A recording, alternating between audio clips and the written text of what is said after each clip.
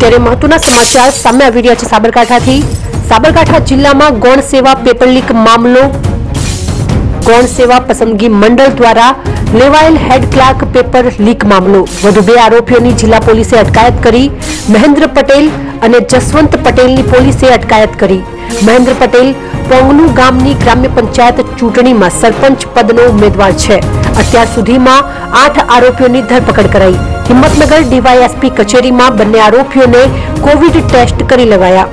મહત્વના સમાચાર સામે આવી રહ્યા છે સાબરકાંઠાથી. સાબરકાંઠા જિલ્લામાં ગૌણ સેવા પેપર લીક મામલો, જેમાં ગૌણ સેવા પસંદગી મંડળ દ્વારા લેવાયેલી હેડ ક્લાર્ક પેપર લીક મામલામાં વધુ બે આરોપીઓની જિલ્લા પોલીસે અટકાયત કરી છે. મહેન્દ્ર પટેલ અને જસવંત પટેલની પોલીસે અટકાયત કરી.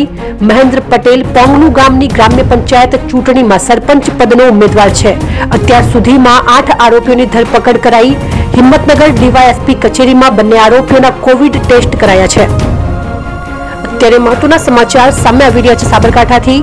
સાબરકાંઠા જિલ્લામાં ગૌણ સેવા પેપર લીક મામલો, ગૌણ સેવા પસંદગી મંડળ દ્વારા લેવાયેલ હેડ ક્લાર્ક પેપર લીક મામલો. વધુ બે આરોપીઓની જિલ્લા પોલીસે અટકાયત કરી.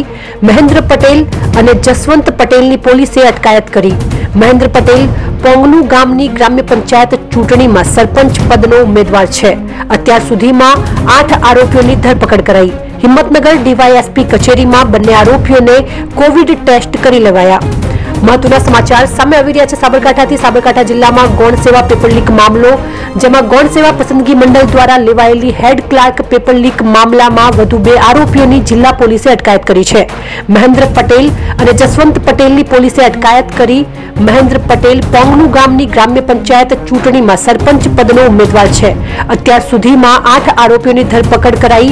હિંમતનગર ડીવાયએસપી કચેરીમાં બંને આરોપીઓના કોવિડ ટેસ્ટ કરાયા છે.